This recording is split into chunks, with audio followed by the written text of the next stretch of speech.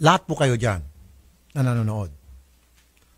Kung meron kayong problema dyan sa inyong bayan at hindi po mabigyan-bigyan ng resolba, ang una niyo pong sisihin yung mga lingkod bayan nyo, yung mga nasa gobyerno, yung mga politiko.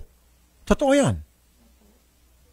Unahin niyo po yung congressman nyo, mayor, governor, private company. You have the power to oblige these people, this com- private company to act up or else hindi ka naman bibigyan ng permit. BPLO. At kayo bilang congressman, in aid of legislation, pwede mong gamitin yung pong pwesto mo sa Congress, patawag sila doon at imbestigahan, hoy, bakit palaging brown out? At doon pa lamang magkaalamanan na, magpapaliwanag sila maayos. Kung sa tingin mo hindi magandang paliwanag, then, alam mo nang gagawin.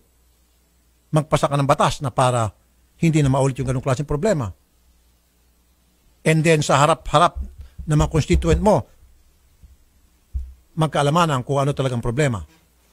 Kaya kayo po, mga manonood, ingat po kayo sa mga binoboto niyong tao. Hindi nga, from my heart. Huwag ko kayo magpapadala pagdating ng eleksyon, yung boka-boka. Tingnan niyo po yung record dapat ng tao. Kapag matagal na nandyan sa pwesto, walang nagagawa, heck, sa susunod na eleksyon, palitan nyo.